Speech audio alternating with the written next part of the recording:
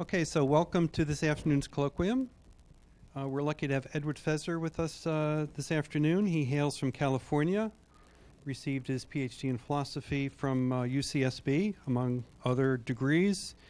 He's currently teaching at Pasadena City College. He's a prolific author of articles, reviews, uh, blog posts, and about a dozen books or so. I've lost count. How many books have you written? It's 11 either authored or co-authored or two, Okay, two 11. cases edited. So, so in physics, that's about a dozen. That's a order of magnitude estimate was correct. Um, he has a particular interest. Well, he has a wide range of interests in philosophy, a particular interest in the philosophy of science, which he'll talk to us about today. Please help me welcome Professor Edward Feser.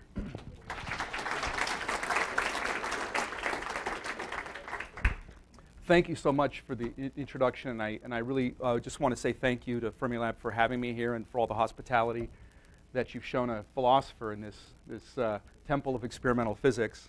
Invite a philosopher. The only thing missing is the armchair from which I usually speak, so, uh, but this will do. I trust everyone's got a copy of the handout. Um, I've discovered that apparently giving handouts during a talk is a philosopher's thing, not an academic thing generally, so forgive me for this.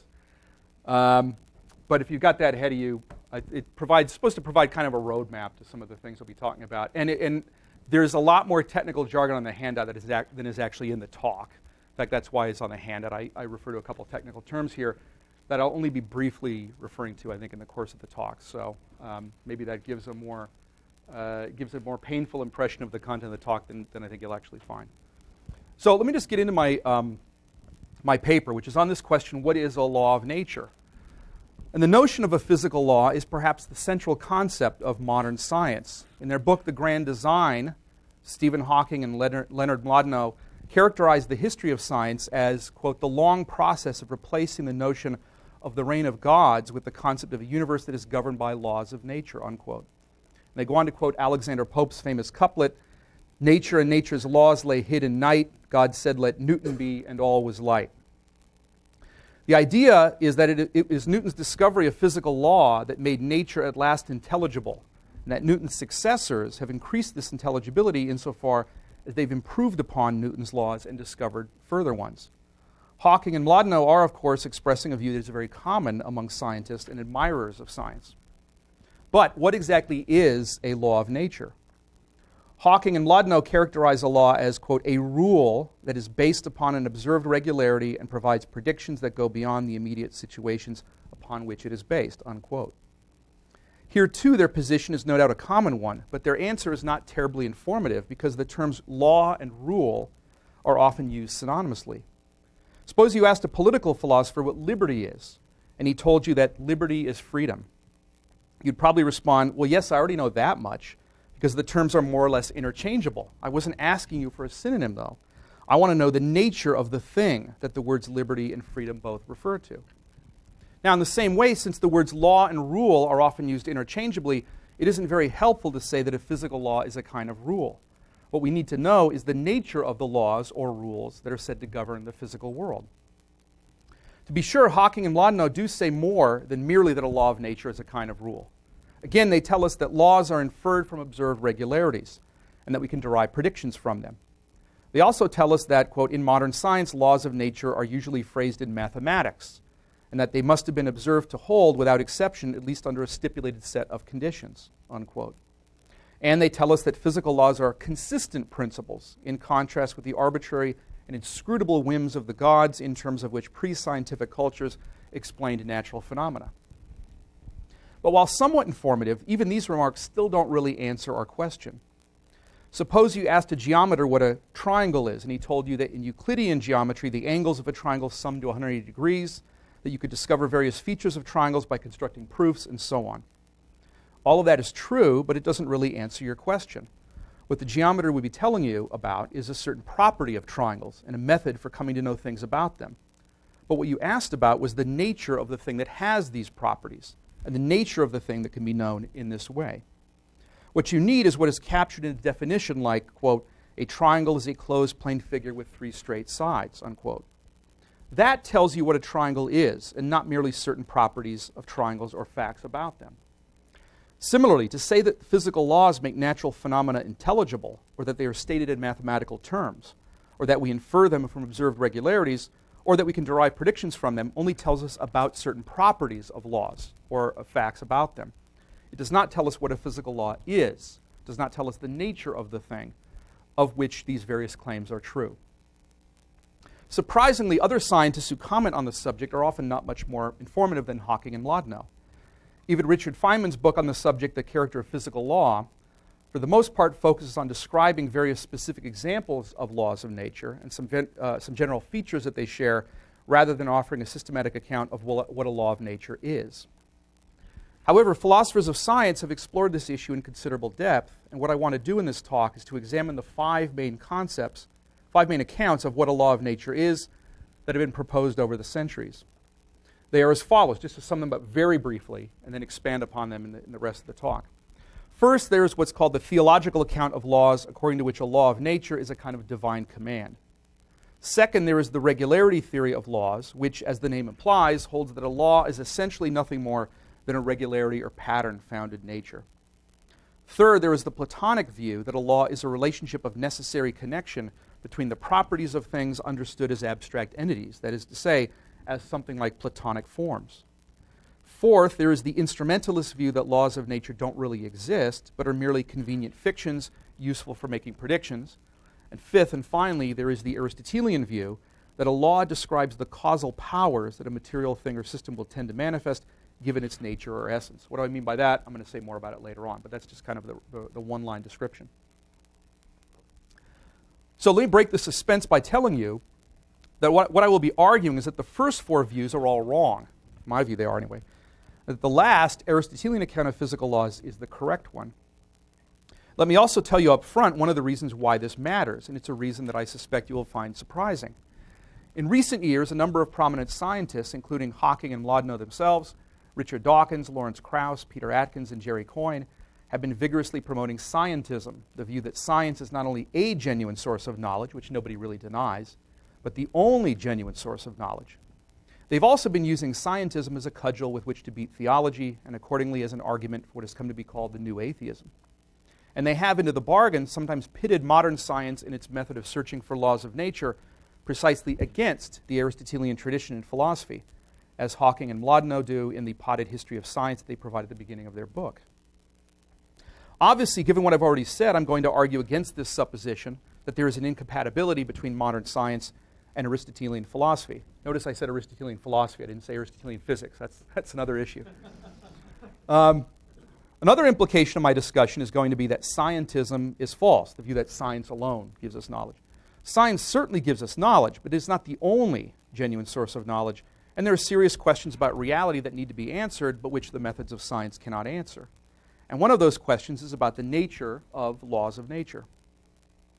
Now, since I have in various writings of mine, for those of you who might be familiar with them, been very critical of the new atheist thinkers that I just mentioned, you might expect that I'm going to be deploying these claims in support of some sort of theological conclusion.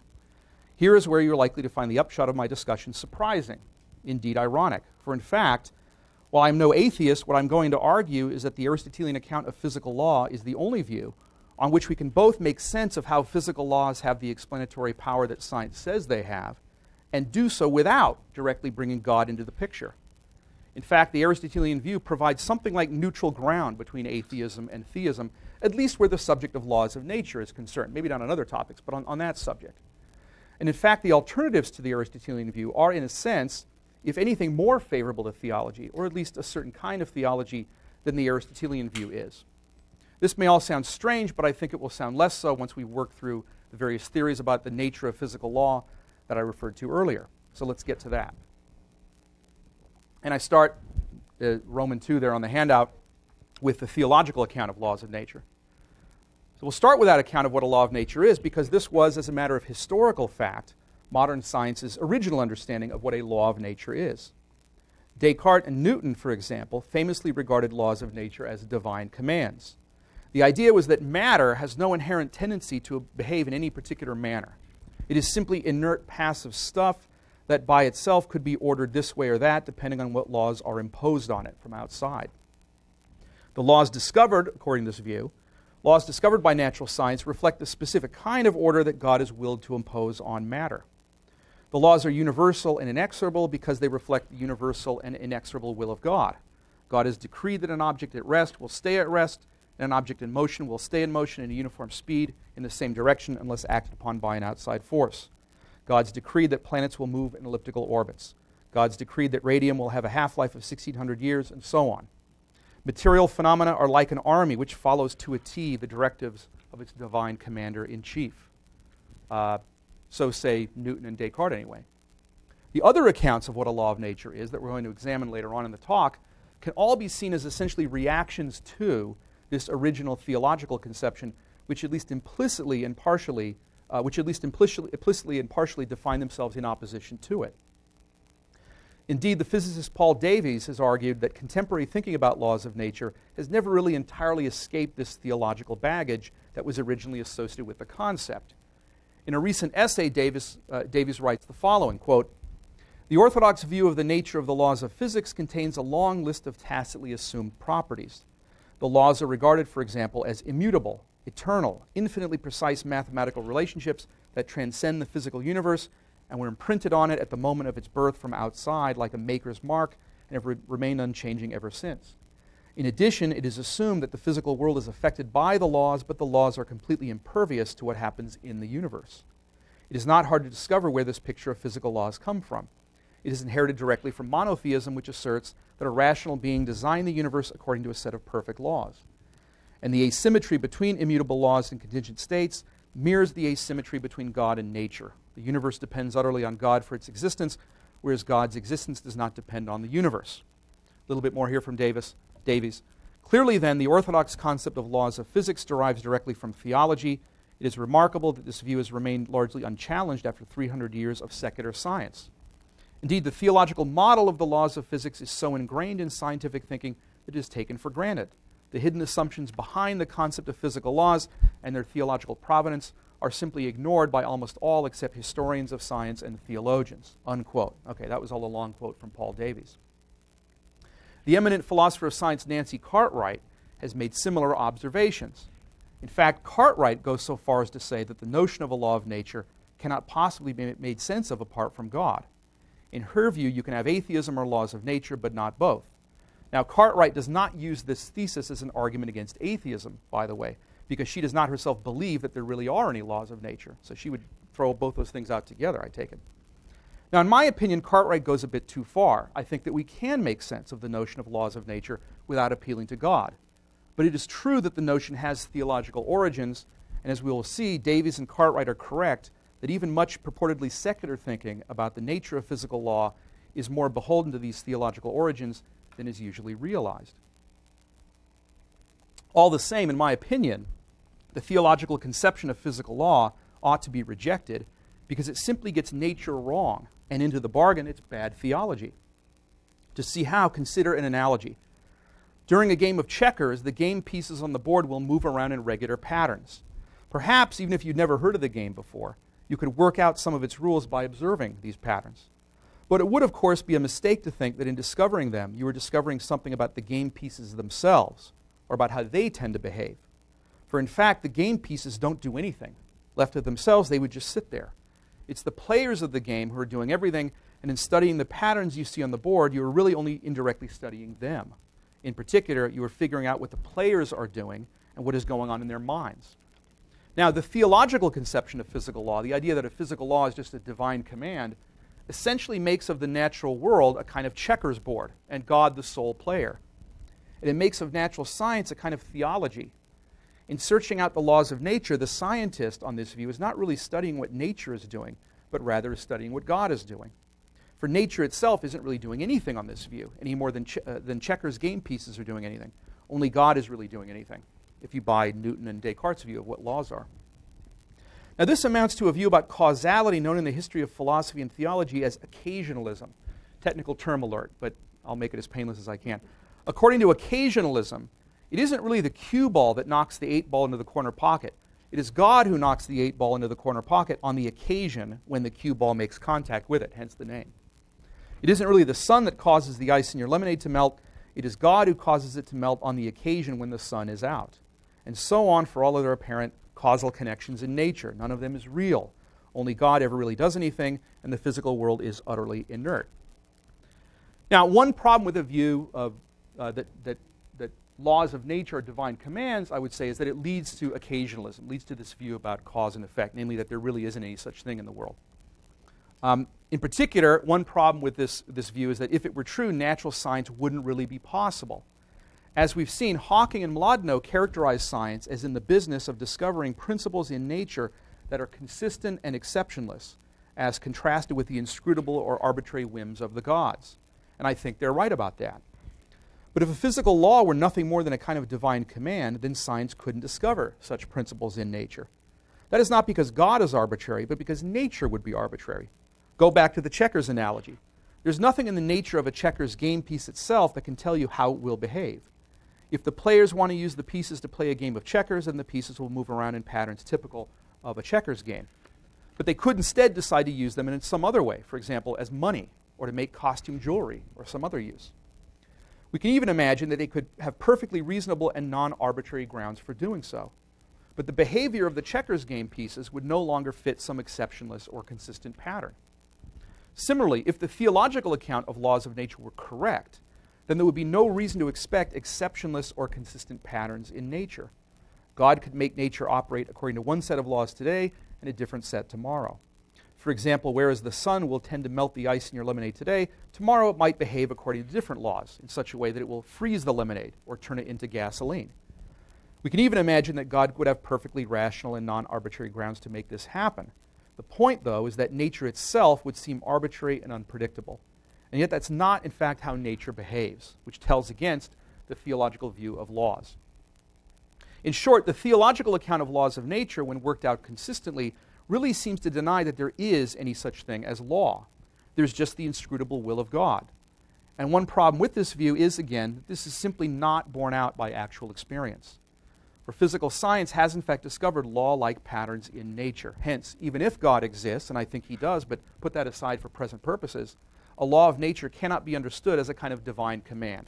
Some other account of physical laws must be correct. Okay, so that's the theological account. Now I want to move on to the, to the next one. This is uh, Roman 3 there on the handout, the regularity theory of laws. So let's turn to that regularity theory of laws of nature. To state this view in its simplest form, a law of nature is simply a regular pattern that we happen to find in nature. It's not that God or anything else causes this regularity to exist in nature. It's just there in nature, and that's that. An object at rest stays at rest, and an object in motion stays in motion at a uniform speed in the same direction unless acted upon. Planets have elliptical orbits. Radium has a half life of 1600 years, and so on. That's just how the world is. In the philosophy of science, this view is often traced back to David Hume, and it seems to be the view taken by at least many contemporary scientists. For example, Feynman seems to be committed to something like it when he gives physical laws the following characterization in his book, The Character of Physical Law. Quote, there is a rhythm and a pattern between the phenomena of nature which is not apparent to the eye, but only to the eye of analysis. And it is these rhythms and patterns which we call physical laws. Unquote. Okay, that's Richard Feynman. The basic idea of the regularity theory is very simple, and many scientists seem to think it obvious and unproblematic. But philosophers of science who defend it have had to qualify it significantly because, on closer inspection, the regularity theory is subject to several serious and, indeed, in my opinion, insuperable objections. The first problem is that a pattern's being regular is not, in fact, sufficient. It's not itself by enough. It's not itself enough to make it a law of nature. To take a stock example, consider the following two regularities. One, every lump of gold is smaller than one cubic mile in size. And two, every lump of uranium 235 is smaller than one cubic mile in size. Both of these statements are true, but there is a crucial difference between them. Though there is, in fact, no lump of gold as large as a cubic mile, such a lump is at least theoretically possible. But a lump of uranium 235 that large is not theoretically possible because a chain reaction would occur before the lump could get anywhere close to that big. So, though the regularity concerning uranium 235 plausibly counts as a law of nature, the regularity concerning gold does not. So, there must be something more to a law of nature than merely being a regularity. Or consider an example like the following, made famous by philosopher Nelson Goodman. Suppose it were a law that all emeralds are green and also a law that all sapphires are blue. That's not quite correct, in fact, but for the sake of simplicity, suppose it were. Or substitute a different example if you wish. Doesn't really matter the point. Now consider the attribute of being grue. This is a famous term introduced by Nelson Goodman, uh, which something has if it's observed before December 31st, 2050, and is green, or observed after December 31st, 2050, and is blue. Then we say it's grue if it has that feature. And consider further, you think that's weird, consider further the attribute of being an emerire, emerald and sapphire, an emerire, which something is if it's observed before December 31st, 2050, and is an emerald, or is observed after December 31st, 2050, and is a sapphire. Okay. Then it will be true, we'll have the regularity that, quote, all emerires are grue. That will be a true regularity. We, we follow those definitions. But it seems implausible to regard this regularity as a law of nature. Of course, you might object that attributes like being grue or being an emerire are silly and obviously made up rather than capturing some objective feature of nature, but that's precisely the point. Since, precisely because of its artificiality, a regularity like, quote, all emerires are grue does not plausibly count as a law of nature, again, the lesson to draw from that is that there must be more to a law of nature than simply being a regularity. The actual existence of a regularity does, also does not appear to be necessary for something to be a law of nature. It's neither sufficient nor necessary. This is another problem. For example, consider a law to the effect that particles of a certain kind have a 50% probability of decaying within a certain period of time, t. Let's label it t. It might seem that there is a regularity that makes this a law, namely that among any collection of particles of the type in question, a certain proportion will in fact have decayed by time t. But suppose there happen to be only one such particle. It is perfectly possible that that particle will not in fact decay by time t. In that case, we would not have a certain proportion of particles de- decaying by time t, and thus we would not have any actual regularity for the law to describe. But there nevertheless would still be a physical law to the effect that any particle of that type has a 50% probability of decaying by time t. So there wouldn't be an actual regularity in nature, but it would still be a law. So a law can't be identified with a regularity, even if there's some relationship there. Consider also that there are chemical elements that do not exist in nature but would have to be produced artificially in the lab or by nuclear explosions if they are to exist at all. And in honor of my hosts here, I'll cite fermium as an example. As with other elements, there are physical laws that describe the properties and behavior of fermium. But suppose fermium had never in fact been produced, then the laws of nature describing fermium would still be true, even though they corresponded to no actual regularities found anywhere in nature.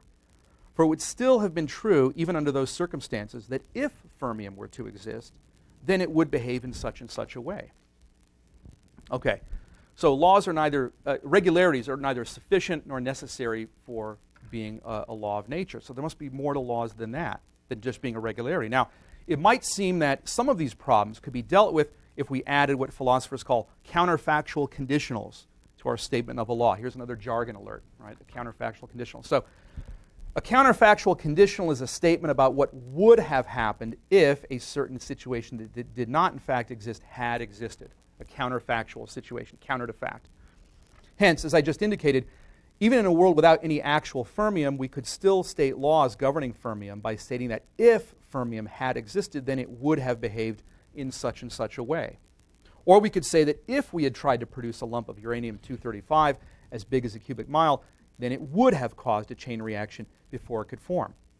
Since no counterfactual, since no such counterfactual conditional would be true of a lump of gold the size of a cubic mile, it might seem that we could use counterfactuals to capture the fact that the regularity concerning uranium 235 is a genuine law, while the regularity concerning gold is not. Just introduce counterfactual statements into your definition, your characterization of a law, and you get around these sort of examples that I've been, that I've been giving. However, this will not work because it gets the relationship between laws and counterfactual conditionals the wrong way around.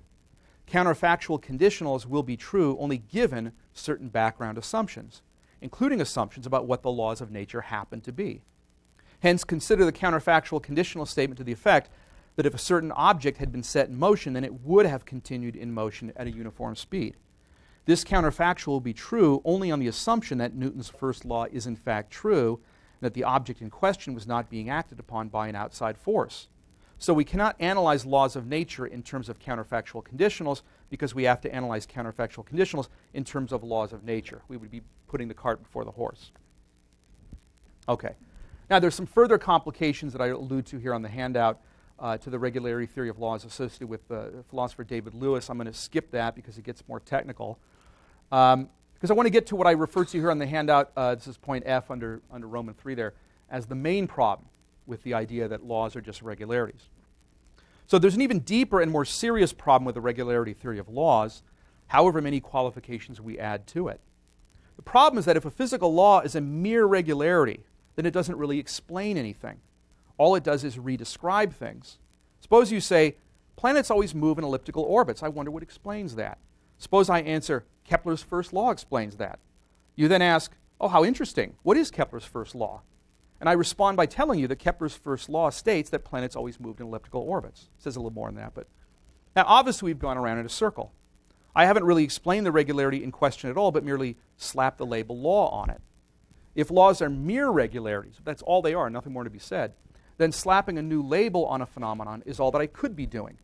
Again, the regularity theory tells us that a law simply describes a regular pattern that we find in nature. To say that it is a law that all A's are B's, whatever we plug in for A and B, is just a fancy way of saying that, as a matter of fact, all the A's that exist in the world happen to be B's. If I tell you that all the chairs in this room are beige, that would obviously be no explanation of the fact that the chair to my left is beige or the fact that the chair to my right is beige.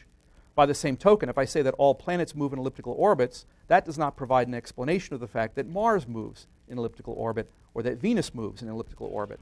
It merely summarizes the facts to be explained rather than actually explaining them. It's useful to compare this to the theological view of laws of nature, which I already rejected. On the theological view, to say that all planets move in, move in elliptical orbits is to say that God has decreed that that is how planets are going to move. Notice that that does give us an explanation of the regularity. You might not think it is a good explanation, that's another matter. The point is that it does at least give us some answer to the question about why the regularity holds. Recall that I said that the theological view of laws entailed occasionalism, which is uh, this technical term for the view that God is the only real cause of anything that happens in the world. The reason the ice in your lemonade melts when the sun is out is, that the, uh, is not that the sun causes the ice to melt, but that God does on the occasion when the sun is present, and so on and so forth. David Hume, the father of the regularity theory of laws, is sometimes described as advocating something like occasionalism without God. You just take occasionalism, nothing in the world causes anything else, God causes everything, then you subtract God from the picture, you got the regularity theory of laws. For Hume, the sun's coming out is followed by ice melting, and that's all we can say. It isn't that the sun causes anything, and it's not that God causes anything either. There are just these patterns there in the world, and that's all that can be said. There's no causal explanation to be had, and no other explanation either. And the trouble with this, of course, is that Hawking and Mlodinow and other defenders of science have told us that it's only with the rise of modern science and its appeal to laws of nature that we've finally gotten genuine explanations of natural phenomena, whereas theological explanations were pseudo explanations. If the regularity theory of laws were true, then this would turn out to be the reverse of the truth. Now, you might be tempted to say that the appeal to Kepler's laws really is a genuine explanation of the motion of the planets because Kepler's laws can be interpreted as a special case of Newton's laws. And Newton's laws make reference to concepts like force, mass, and acceleration that can illuminate why the planets move. But if the regularity theory of laws were true, this would be an illusion. Because Newton's laws, too, would really merely describe regularities rather than explain them, even if the description is a more general one. So go back to my example of the chairs. Suppose you ask me why the chair to my left is beige, and I answer, because all the chairs in this room are beige. Suppose you object that this doesn't really explain the color of the chair at all, and I reply, but the fact that all the chairs in the room are beige is actually a special case of the more general fact that all the furniture in the room is beige. And to point that this brings out a new concept, the concept of furniture, which illuminates the fact that all the chairs are beige. Obviously, this doesn't really illuminate anything. And by the same token, even if you can derive Kepler's laws from Newton's and then take Newton's in turn to be an approximation of Einstein's, you still will not really have explained anything if, if physical laws are mere regularities and there's nothing more to be said. All you'll be doing is describing the phenomena to be explained using more general concepts rather than actually explaining the phenomena. Okay. And this brings me to Roman 4, an excursus on laws and explanation. Um, so before moving on to the next theory of what a physical law is, I want to pause over this issue of the explanatory power um, of the laws of nature because some interesting things have recently been said about it by a couple of scientists of note.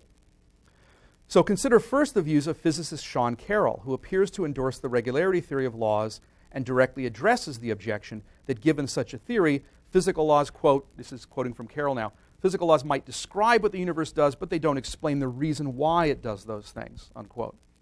Carroll's response to this objection is essentially to bite the bullet and acknowledge that on his account, the fundamental laws of nature are simply, simply brute facts without explanation. They just are the way they are, and there's, there's no intelligibility to it. They're a brute fact. Okay. Now, he rejects what is traditionally, traditionally called the principle of sufficient reason, or PSR, as philosophers like to abbreviate it, according to which, for anything that exists or any event that occurs, there must be some explanation sufficient to account for it, to make it intelligible. This is a principle famously associated with Leibniz. There have been many philosophers and, and scientists over the centuries who've endorsed it. Uh, but Carroll, like others in the tradition tracing back to Hume, holds that at bottom the world simply is the way it is in a way that is not intelligible or explainable. He rejects PSR. Now, one problem with this that Carroll seems to be insufficiently sensitive to is that it entails a massive come down from the bold claims made about science by scientists like the ones that I referred to earlier Hawking and Mlodinow, Dawkins, Krauss, Atkins, Coyne, and many others. Again, they claim that science and science alone has finally given us genuine explanations of natural phenomena in a way that they claim philosophy and theology do not. But if the regularity theory of laws is true and the principle of sufficient reason is false, then it would turn out that even science doesn't really provide explanations at all. It only seems to because we usually don't think very carefully about the implications of the regularity theory of laws and the rejection of PSR. This is actually a common problem. Many amateur philosophers who thrill to Hume's criticisms of theology and metaphysics don't realize that David Hume's skepticism, if followed through consistently, takes down everything science no less than religion and traditional philosophy. Another problem, though, and a deeper problem, is that Carroll is simply wrong, in my view, to reject the principle of sufficient reason. For one thing, considered even just as an inference from experience, PSR is as well supported as any law of nature. We do, in fact, tend to find explanations when we look for them. And even when we don't, we tend to have reason to think there's an explanation, but just one to which, for whatever reason, such as missing evidence, we don't have access. Furthermore, the world simply doesn't behave the way we would expect it to if PSR were false. Events without any evident explanation would surely be occurring constantly, and the world simply would not have the intelligibility that makes science and everyday common sense as successful as they are.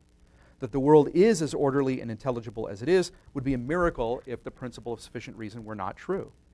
But even that is putting it mildly, because PSR is in fact more certain than even the best supported empirical hypothesis would be, or so I would argue.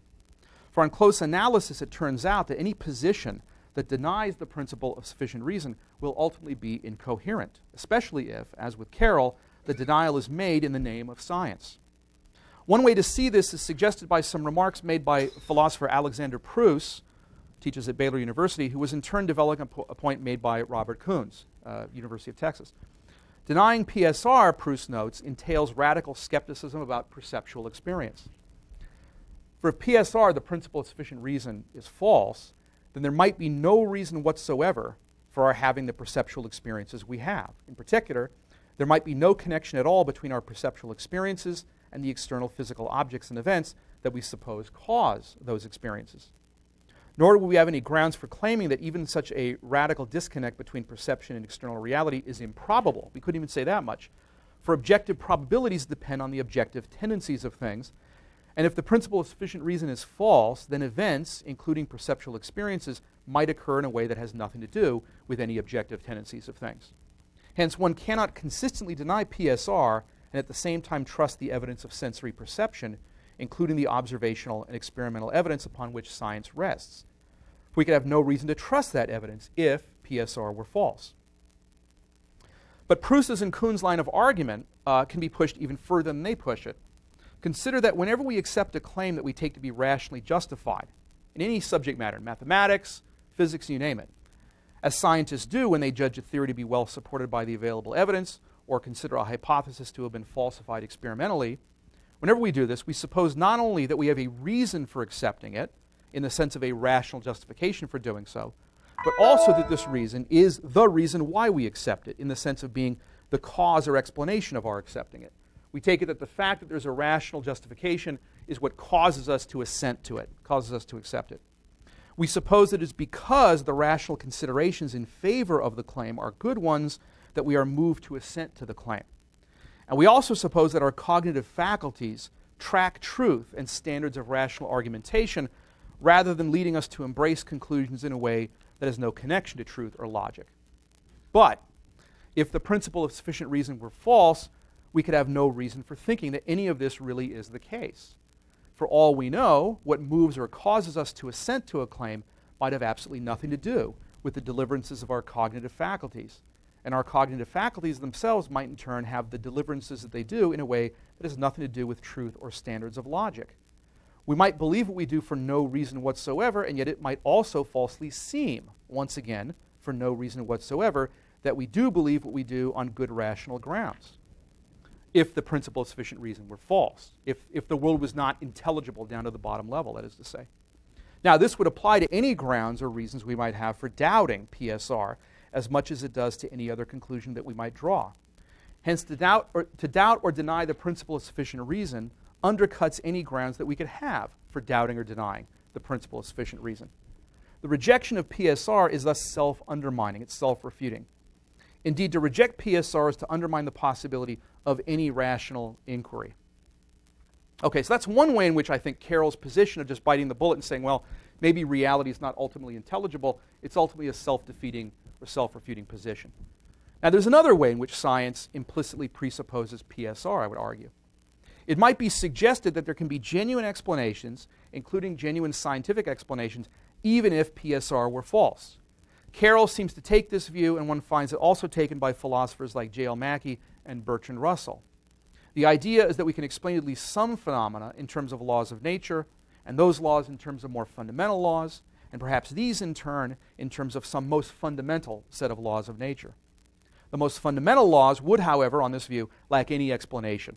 That the world is governed by them would just be an, an unintelligible brute fact. But this, I would argue, is also incoherent. Suppose I told you that the fact that a certain book has not fallen to the ground is explained by the fact that it is resting on a certain shelf, but that the fact that the shelf has not fallen to the ground is no explanation at all, but is an unintelligible brute fact. Have I really explained the position of the book? It's hard to see how. For the shelf has in itself no tendency to stay, to stay aloft. It is, by hypothesis, just a brute fact that it does so. But if it has no such tendency, it cannot impart such a tendency to the book. The explanation that the shelf provides in such a case would be completely illusory. Nor would it help to impute to the book some such tendency if the having of the tendency is itself just an unintelligible brute fact. The illusion will just have been relocated, not eliminated. But by the same token, it's no good to say, quote, the operation of law of nature C is explained by the operation of law of nature B, and the operation of B by the operation of law of nature A, but the operation of A has no explanation whatsoever and is just an unintelligible brute fact.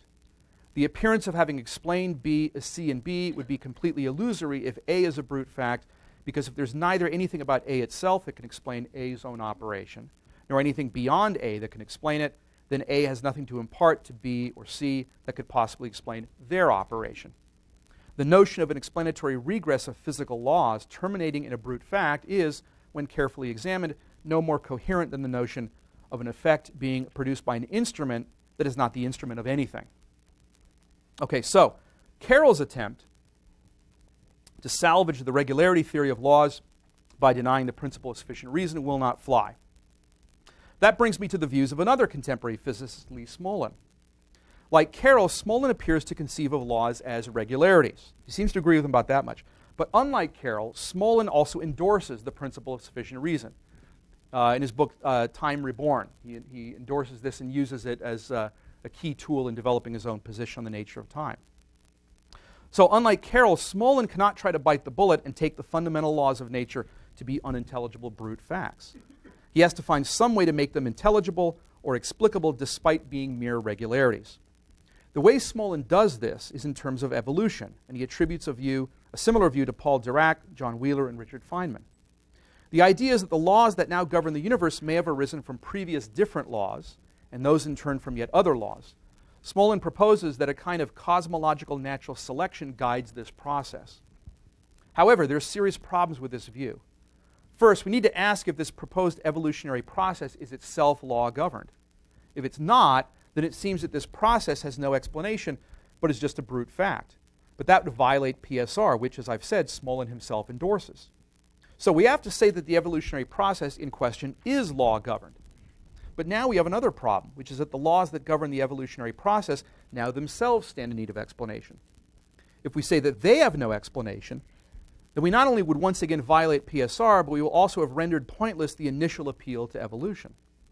If we're going to allow that the laws that govern the evolutionary process have no explanation, then we might as well say that the laws of nature that now govern the universe, which we were proposing to explain in terms of evolution, have no explanation. But if instead we say that the laws that govern the evolutionary process do have an explanation and posit some further higher order evolutionary process to explain those laws, then it seems we're led to a vicious regress. Now, Smolin recognizes that his position faces this problem, which he labels the meta-laws dilemma, quote unquote. And he proposes a couple of possible solutions, and for sake of time, I'll just uh, talk about one of them briefly. Um, which is to posit what he calls a principle of the universality of meta law. Okay. What does he mean by that? The idea, the idea here is that it might turn out that all the possible meta laws that could govern the proposed evolutionary process are equivalent to one another insofar as they would generate the same results. But it's hard to see how this solves the problem. For one thing, no reason is given for believing that there is any such principle. It appears to have no motivation other than the ad hoc one of solving the meta laws problem. For another thing, the principle wouldn't solve that problem even if it were true. The most it would show is that if there is an evolutionary process governed by a meta law, then in that case, any meta law will be as good as any other. But that doesn't explain what makes it the case that there is, in fact, such a process in the first place. If you see me eating vanilla ice cream and ask me why I'm eating it, I would not be giving a complete explanation if I told you that the only ice cream available was vanilla. That would explain why I'm eating vanilla ice cream specifically, but not why I'm eating any ice cream at all in the first place. Similarly, the most that Smolin's proposed principle could explain would be why the evolutionary process is governed by such and such a meta law specifically, what remains to be explained is why there is any evolutionary process in the first place. And if Smolin appealed to a meta meta law, in order to answer that question, that would simply land him in a higher order version of the same problem. Once again, we'd have a vicious infinite regress. Okay, so the upshot of this long excursus on laws and explanation then is that the regularity theory simply has no way to get around the problem that if laws are just regularities and nothing more, then they don't explain anything, which, I, which, as I've said, I think is the key problem with the regularity theory of laws. Okay, so the regularity theory is, I would say, the main alternative traditionally to the, the theological view. There are several other ones which I'm going to go through much more briefly. Okay, so let me briefly talk about the remaining ones. Uh, they're on the back of the handout. Uh, this is Roman 5, the Platonic view of laws. So let's turn then to this third view of laws of nature, which again I, I've referred to as the Platonic view. The easiest way to explain this view is as follows. Suppose we think of the key properties referred to in a scientific theory as something like the Platonic forms, familiar from Plato's famous theory, for those of you who've read Plato's Republic. For example, suppose we think of mass, force, and acceleration as Platonic forms. There is a form, or there is the form or abstract pattern of having mass, the form or abstract pattern of having force, and the form or abstract pattern of having acceleration. All the particular physical objects that there are participate in this forms in these forms. Then laws of nature on this view can be thought of as necessary connections holding between these forms. For example, Newton's second law of motion, force equals mass times acceleration, would be understood as describing a necessary connection holding between the form of mass, the form of force, and the form of acceleration. The law is like a higher order form, a form of forms, in which these forms participate. So, since all physical objects participate in the Platonic forms of force, mass, and acceleration, they also participate in the higher order form that we call Newton's second law. Okay, that's the Platonic theory in a nutshell. Now, if we do think of the properties in question, the pro- properties like force, mass, and acceleration, on the model of Platonic forms or abstract entities, then we have a problem. For this Platonic account doesn't really explain why the natural world behaves in accordance with physical laws. Consider that if Platonism is true, then there are forms corresponding to all sorts of things that don't in fact exist. For example, there is a form, a Platonic form of being a unicorn, and a Platonic form of being a Tyrannosaurus rex, just like there is a Platonic form of being a lion. The difference, of course, is that there actually are things that participate, as Plato would put it, in the form of being a lion. Uh, but there are no longer things that participate in the form of being a T Rex, and there never was anything that participated in the form of being a unicorn. Now, by the same token, not only the laws that actually govern the world, but also alternative possible physical laws that don't, in fact, govern it, all presumably exist together in the Platonic realm of abstract objects, Plato's heaven, right? The realm of the forms. So, what explains why the world participates in just the specific physical laws that it does, rather than one of the alternative sets of laws or no laws at all, if we think of laws as Platonic forms? Abstract objects, after all, are causally inert. By themselves, they don't do anything. And so, if we think of laws of nature as forms or abstract objects, we still need to appeal to something in addition to the laws in order to explain why the world actually participates in these forms. Suppose we say that we can explain this in terms of higher level laws of some sort, again understood on the model of Platonic forms. Trouble with this, of course, is that we would now need to explain why the world operates according to these higher order laws, which raises the same problem all over again and threatens an infinite regress. Suppose instead that we say that God causes the world to operate according to the laws, using the forms as a blueprint for creation, as Plato himself suggested in his book, The Timaeus, in his dialogue, The Timaeus. He suggests something like this model then we're essentially back to the theological conception of laws of nature with all of its problems. Or suppose we say that it's just an, an, inexplicable regularity that the world operates according to physical laws conceived of in Platonic terms, conceived of as Platonic forms. In that case, we're essentially back to the regularity view of laws with its problems. So, on close inspection, I would argue the Platonic view isn't really any better than the alternatives that we've already looked at and rejected. Okay, that brings me briefly to a fourth view. This is Roman 6 on the handout. Uh, the instrumentalist view uh, about laws of nature. Now, instrumentalism in the philosophy of science is the approach that says that the theoretical entities posited by scientific theories do not really exist, but are merely convenient fictions useful for organizing experience and making predictions. In the present context, the idea would be that laws of nature are merely useful fictions and don't really exist, if you're an instrumentalist about laws. The debate between instrumentalism and scientific realism is a large topic, and I'm not going to attempt to address it in any depth here. Suffice it for present purposes to say that the main argument for scientific realism in general is an argument for the reality of laws of nature in particular.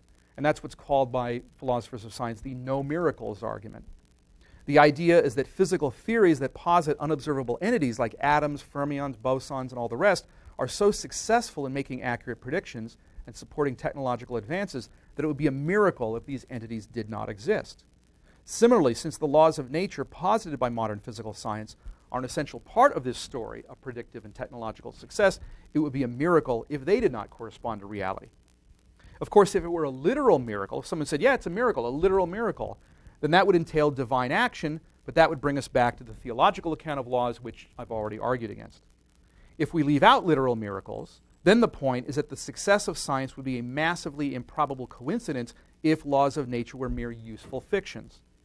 And if we leave this coincidence unexplained, then we'll be back to the problems that we saw face the regularity theory of physical law, which I also argued against. Okay, so instrumentalism I also say is out. That's not going to work. Okay, so that brings us finally to Roman numeral 7 there on the handout, the Aristotelian view of laws of nature. Now, notice that all of the views that I've been criticizing have something in common. None of them holds that there is anything in the physical world itself that explains why it has the order that it does. For the theological and Platonic views about laws of nature, this is because the order that exists in the world is to be explained by reference to something outside the world, to God's commands in the one case and to Platonic forms in the other case.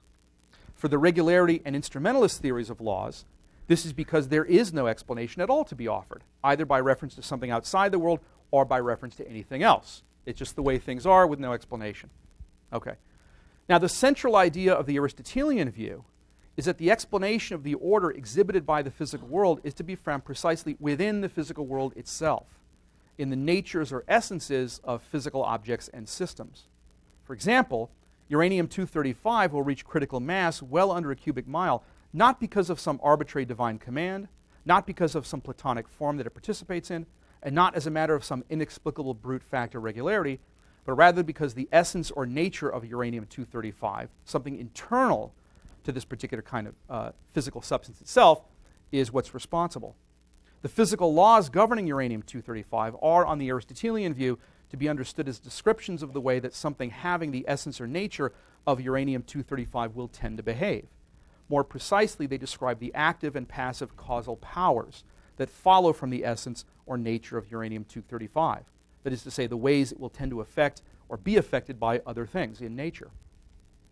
Now, there's a standard objection to this sort of view, which goes back to early modern philosophy of science, philosophy and science, and it's enshrined in Moliere's famous mockery of attempts to explain how opium causes sleep by attributing to it a dormitive power. Famous joke from a play by Moliere, where the doctor is asked, Why does opium induce sleep? And he says, Because of its dormitive virtue or dormitive power. Okay. Now, the claim, the, the criticism implied by Moliere's uh, uh, scene there in that play, is that to appeal to the inner nature or essence of a thing, or to its causal powers, is merely to utter a tautology and explains nothing. Common though this objection is, however, it's not a good one and it rests on a misunderstanding of what the Aristotelian is saying. Now, note first, the appeal to the natures or powers of, th- of a thing is not, in fact, a tautology. If I were to say that opium causes sleep because it brings about slumber, that would be a tautology, saying exactly the same thing in different words. That would be a tautology. But to say that opium causes sleep because of its essence or its causal powers is not a tautology. It does not merely repeat the same thing in different words, which is what a tautology does. It tells us, for example, that there is something in opium itself that brings about sleep, that it's not just the circumstances in which it's taken that cause sleep, and that it's not just an accidental feature of this or that particular sample of opium that causes sleep, but rather reflects opium as such. Now, it's true that this is not terribly informative, but it's not uninformative either. It does have some minimal content. And the Aristotelian is not claiming any more than that. He's not denying that if you want to know exactly what it is about opium that brings about sleep, you're going to have to do chemistry and not just talk vaguely about causal powers. He is saying merely that even if a complete explanation has to do much more than merely refer to the essence and causal powers of opium, it has to do at least that much. And one of the, reason that, one of the reasons it has to do so is that there's no other way to make sense of laws of nature. For if we don't think of a physical law as a description of how a physical object will behave, given the essence and causal powers internal to it, that we either have to think of it as uh, think of a law as having its explanatory force by reference to something external to the world of physical objects, namely God or Platonic forms, or as having no explanatory force at all, as in the regularity theory and instrumentalism. And as I've argued, none of those options can be correct. So the Aristotelian view wins by process of elimination. But there are other things to be said for it as well. As the philosopher of science Nancy Cartwright, I referred to her briefly before, has famously argued, a curious feature of the laws of nature that we know of is that they are not, in fact, universal regularities. She first put this forward in a book of hers with the, with the rather provocative title, How the Laws of Physics Lie. All right?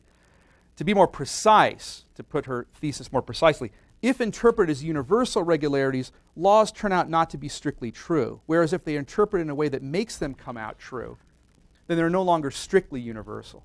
For example, the law of universal gravitation will not correctly describe the behavior of bodies that are charged or subject to air friction.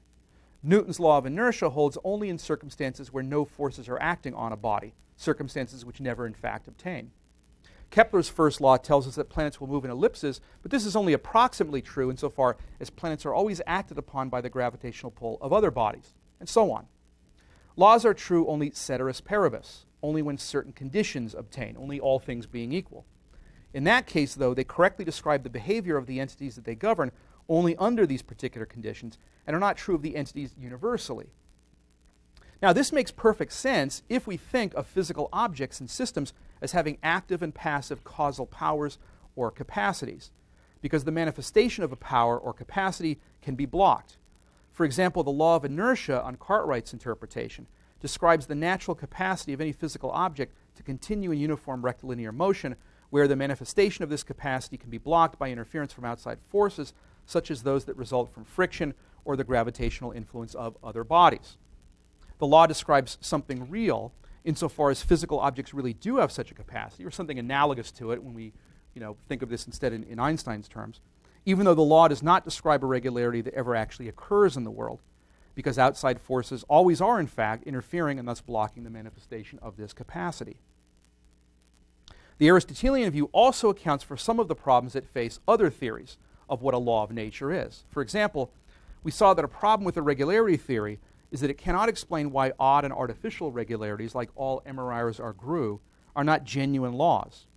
The Aristotelian would say that the reason is that genuine laws reflect the causal powers and capacities that a physical thing will manifest given its nature or essence. But there are, for example, no physical things that have the capacity to be green before December 31st, 2050, and blue afterwards, so that there's no such features being grue that a law of nature might describe. Now, let me end by coming back to the implications of my discussion that I alluded to at the beginning.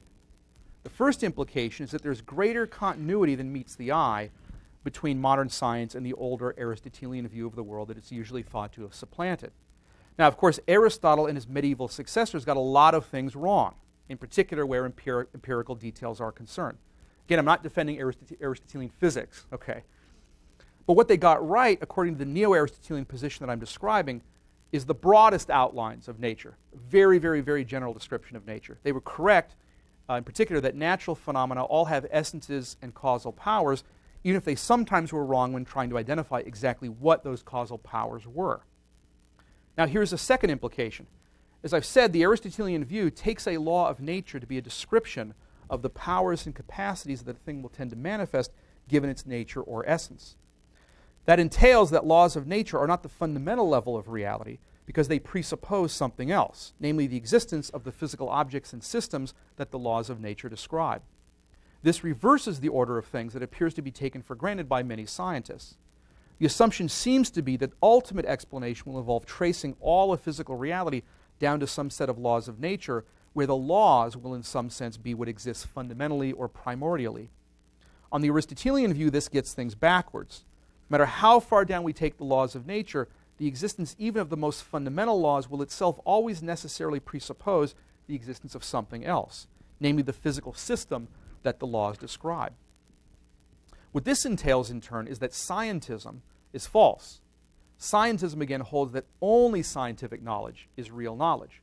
But if scientific explanation always terminates in an appeal to laws of nature, then there's always going to be something that science cannot explain, namely the existence of the fundamental laws themselves, because those will always presuppose the existence of a system that follows the laws. But that scientism is false should also be clear from the whole discussion to this point, and whether or not one agrees with the Aristotelian position. For whether one accepts the regularity theory of physical law, or the Platonic theory, or some other theory, one will always be taking an essentially philosophical position rather than a scientific one. Since science presupposes the notion of laws of nature, the investigation of what a law of nature is will, whatever conclusion one reaches, always be ultimately a philosophical rather than a scientific investigation, and that entails that there's more to be known about reality than science can reveal. Finally, if the existence of laws of nature presupposes the existence of a physical reality that is described by those laws, that obviously raises the question of why that physical reality exists.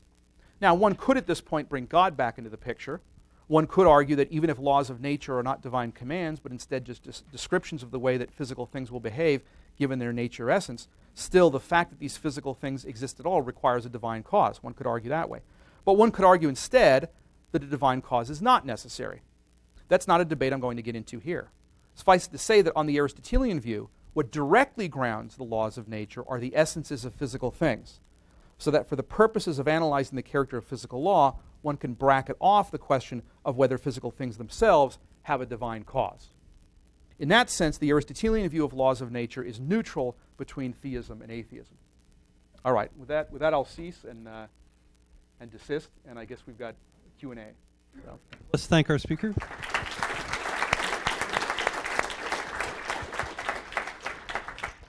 Well, that was so clear, I'm not sure there's any questions, but perhaps somebody has a question. Start with Jeff. Uh, there's an element of the Aristotelian uh, view which is very appealing in terms of essences because it uh, is so different from people who argue that uh, nature has no essence and it's all a construction of the human mind. Yeah. How do you answer those people? Well, I yeah. So the question was uh, the, the, question noted that the Aristotelian position is at odds with this idea that, that physical reality and all of reality is really a social construction or a, or a mental construction, construction of the human mind. And the question was how I would respond to that. The short answer is that I would say that that sort of view, when followed through consistently, also tends to be self undermining because it always appeals to a mechanism by which the mind purportedly constructs objective reality, right? But then once you describe that mechanism, you're describing something that doesn't itself depend on the construction, right? It pre exists. So if the, if the mind constructs reality, and it does so according to a certain mechanism or according to certain, certain principles, then those principles or that mechanism itself is not constructed by the human mind. It's bedrock that this alleged construction of reality rests upon. And that means that there is, at the end of the day, something, namely the mind itself, which is not constructed by the mind itself. Okay. Now you've already got then some absolute bedrock of something that's not constructed by the mind, that and therefore cannot be explained by the operations of the mind. It's gonna, if it's going to be explained, it's going to be explained by something outside it. And then we're off, I think, to a sort of step-by-step refutation of this view. So that's that's sort of a refutation of the completely general claim that everything is a construct of the mind. Well, not everything can be. The mind cannot be. So if the mind cannot be and operates according to principles that it didn't cause, there must be something outside that explains it. And before you know it, we're back to bringing objective reality into the picture, in addition to the mind that purportedly constructed the objective reality. So I think ultimately it's a self refuting view when you show how you got the first step to showing that it's false across the board. Will that be on the final? That will, yeah, you got the final exam here? Okay. Hi. So I have a, a comment more than a question, but I am very interested to hear your response. So um, it seems to me that you're building up something of straw man of a straw man when you talk about uh, these advocates of what you're calling a scientism. I don't think, uh, for example, they're really arguing that the only kind of knowledge that is real is scientific knowledge. The, the figures you mentioned, for example, all believe in uh, the value of mathematics. Yeah. And this is not using the scientific method. This is a different epistemological category a posteriori instead of a priori, and and and they they they ex- they acknowledge real knowledge, the existence of real knowledge that doesn't come from science. Um, so I think that's important to keep in mind. And then secondly, um, it seems like your main objection to the idea that laws are observed regularities comes from their lack of explanatory power. But the kind of explanatory power that scientists and I think the people that you're criticizing uh, claim that, the, that this approach has is in that they can explain lots of facts about the world with few facts pertaining to the laws of uh, laws of nature. So, um, using one law like Newton's gravitational force law, we can explain why apples drop to the ground and why planets follow elliptical orbits and why any number of other things. So, it, it, you might say that's not explanatory, but in fact, it's very useful. And that, in my opinion, is all that science does and all, all that it claims to do.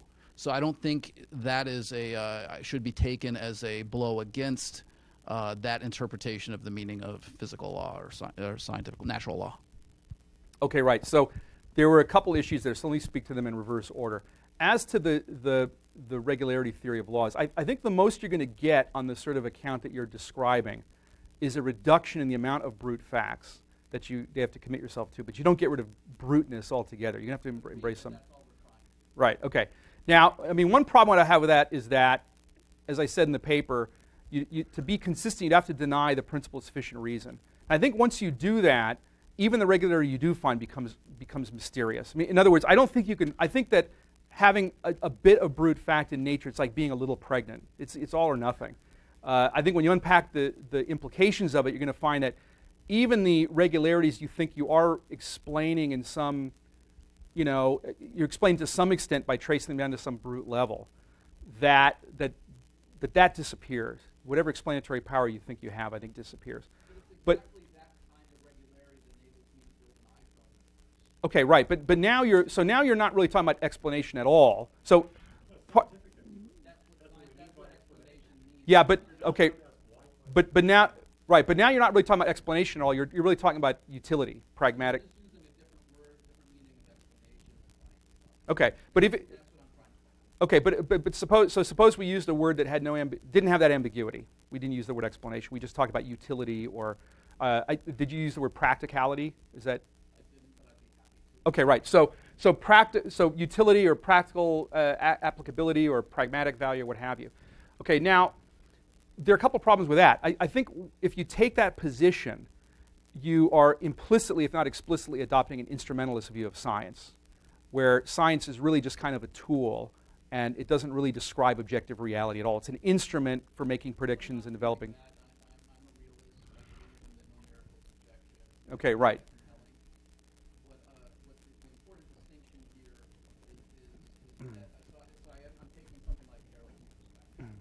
Um, yeah. Which I, I, think is the mainstream interpretation of philosophers of science and, and this particular issue.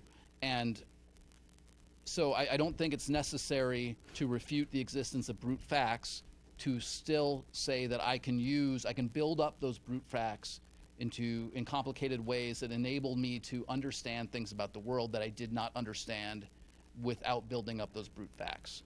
So I can take I can take Maxwell's equations and the laws of force and, and gravitation and whatever, and take those as all brute facts and say they don't have an explanation. And I'm not saying they don't, but let's just posit that they don't.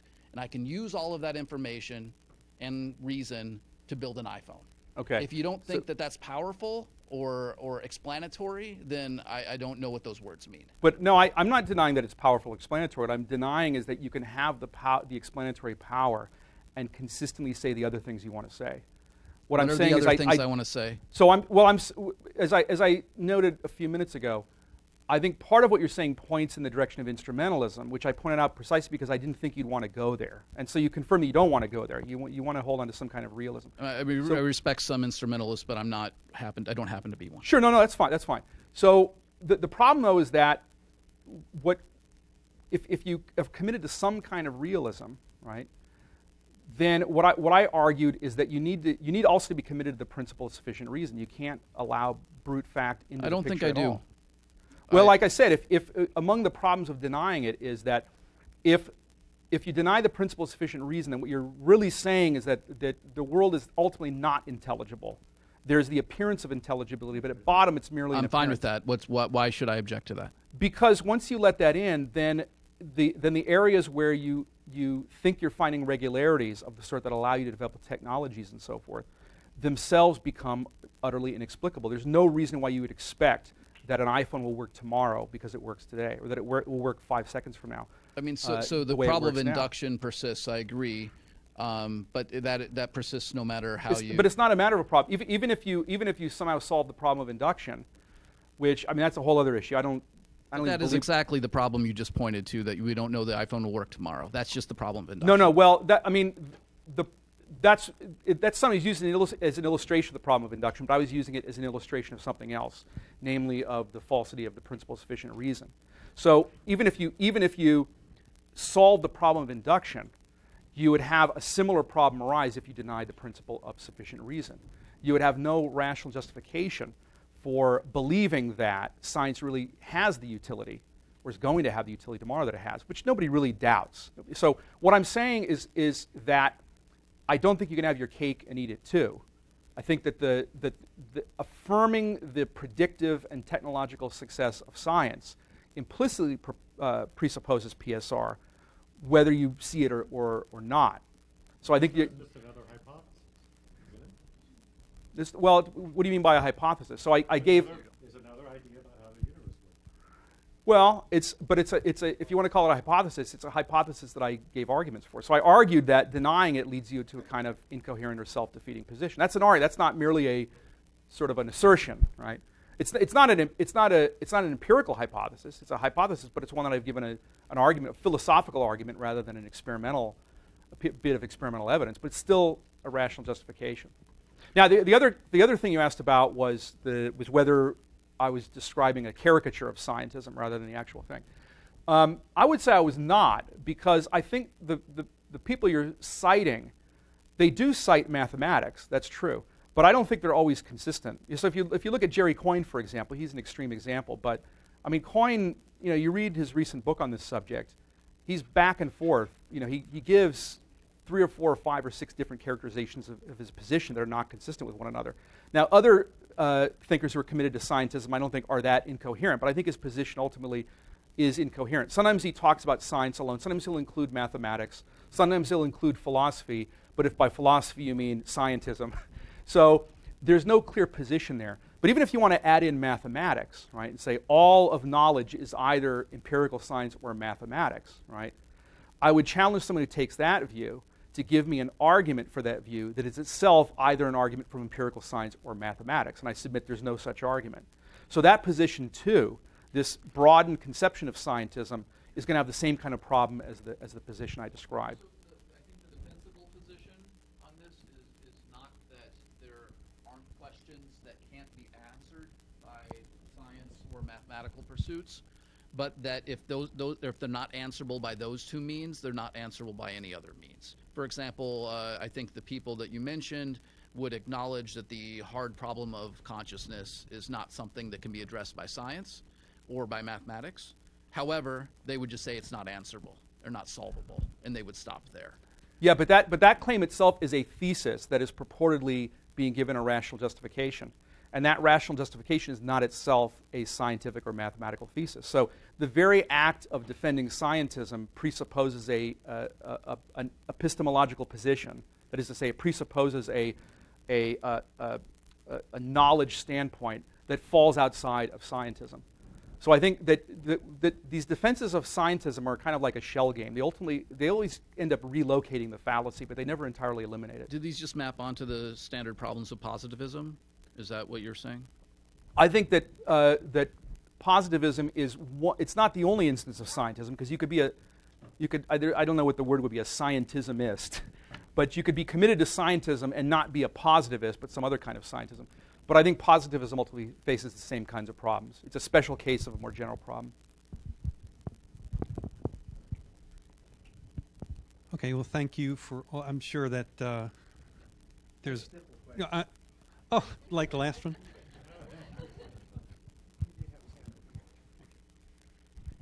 Uh, I have a simple question. Just what what is the consequence of this uh, analysis? I mean, is there a practical implication? Does it matter? Uh, does it affect the way? Uh, yeah, yeah that, that's uh, putting it in a practical terms.